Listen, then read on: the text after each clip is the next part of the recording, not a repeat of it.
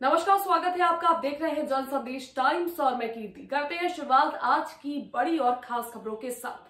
सपा विधायक इरफान सोलंकी ने सरेंडर किया। आपको बता दें कि सपा के विधायक इरफान सोलंकी रोते हुए नज़र आए। सपा विधायक ने कमिश्नर आवास जाकर सरेंडर किया। वहीं विधायक के साथ उनके साथी व पत्नी बच्चे भी मौजूद रहे। विधायक के घर पर पुलिस आज कुर्की की कार्रवाई कर सकती है। कुर्की की कार्रवाई से बचने के लिए सपा विधायक इरफान सोलंकी ने पुलिस कमिश्नर आवास में सरेंडर किया। विधायक इरफान सोलंकी विधवा महिला के घर आगजनी व रंगदारी के मामले में वांछित चल रहे थे। फर्जी पहचान पत्र व बदले हुए नाम से। हवाई यात्रा के मामले में भी सपा विधायक इरफान सोलंकी आरोपी है।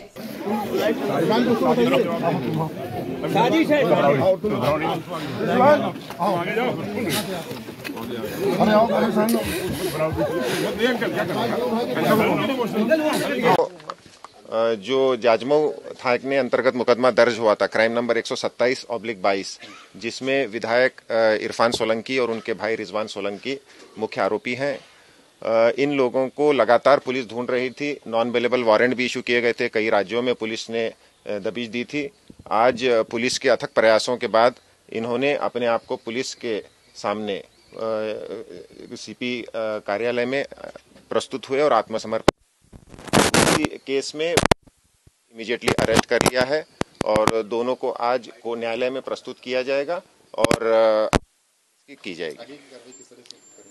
जो भी साक्ष्य उसमें उपलब्ध हैं उसके अनुसार अगर आवश्यक पुलिस कस्टडी रिमांड के लिए न्यायालय से अनुरोध किया जाएगा और उसके बाद जो अन्य मुकदमे हैं उसमें भी रिमांड उसके बाद लिया जाएगा। पूरा परिवार है कुछ सफ़ाई भी अपनी तरफ़ से दी गई जी भी उनके तरफ़ से बात बताई जाएगी उनके बयान दर्ज किए जाएँगे वो भी केसदारी का पार्ट होगा और जो भी साक्ष्य उपलब्ध हैं उसके अनुसार कार्रवाई की जाएगी।